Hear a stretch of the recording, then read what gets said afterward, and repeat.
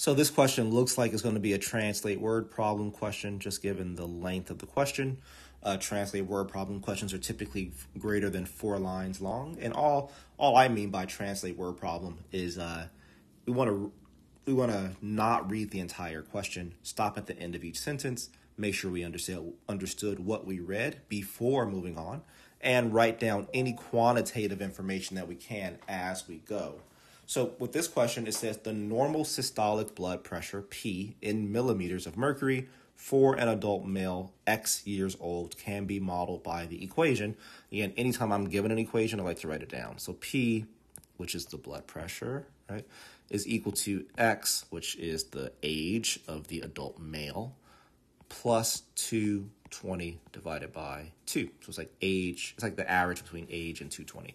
According to the model, for every increase of one year in age, by how many millimeters of mercury will the systolic, well, will the normal systolic blood pressure for an adult male increase? Well, there's a lot of things we could do here. One thing that we can do is plug in our own number. Right? I could say, well, let's say that this adult male is 25 years old. What would, what would we expect to happen? I'd get P equals 25 plus 220 divided by 2, which turns into 245. 245 divided by 2. And then I go to my calculator and I see that 245 divided by 2 is 122.5. So that's that's the uh, blood pressure now. But when that person gets one year older, they're now 26. So what's P when the person is 26 years old. So 26 plus 220 divided by 2. And again, I get 246 divided by 2, which is equal to 123. So what happened, right? It increased by, right? It was a plus 0.5, which should be our correct answer. If you wanted to test it again just to make sure, you can say, well, what happens at x equals 27?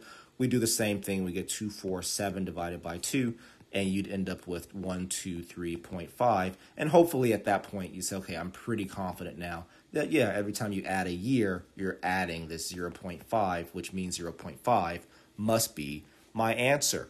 So I like that way. Nothing wrong with that. It's a great method to use. Another method here, however, is this whole idea of um, how many millimeters of mercury will the normal systolic blood pressure for an adult male increase for you know for every increase in of one year but how much right? That sounds a lot like slope to me.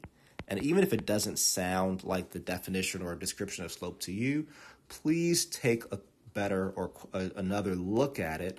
Because understanding that this is slope that's being described will be beneficial on other questions. So because i think that it's slope right? Because it's the, it's the increase for every one year. It's like a per year increase, um, where x represents years. I'm going to look at this equation, p equals x plus 220 over 2. I'm going to convert this into a, like a y equals mx plus b form.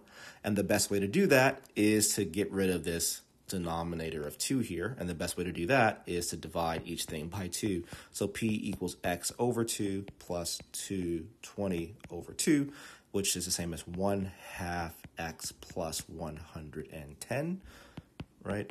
And because this is in the form y equals mx plus b, and because the question's asking for m, I would be able to tell you that the slope or the difference, the change in blood pressure per year must be one half. So that same 0.5 is what I'd get.